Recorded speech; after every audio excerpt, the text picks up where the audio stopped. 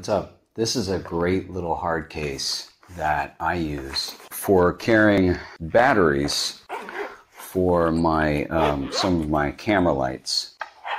And you've got right here a little charger that you can uh, fit right in there.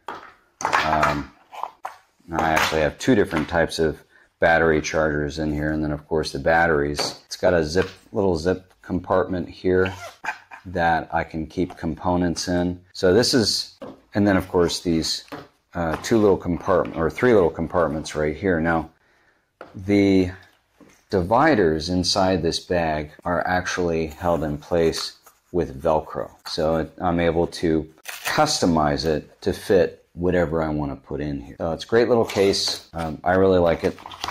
And of course, it has a, a soft interior to uh, avoid damaging your uh, your equipment. But uh, anyway, great little hard case. Link in the bio.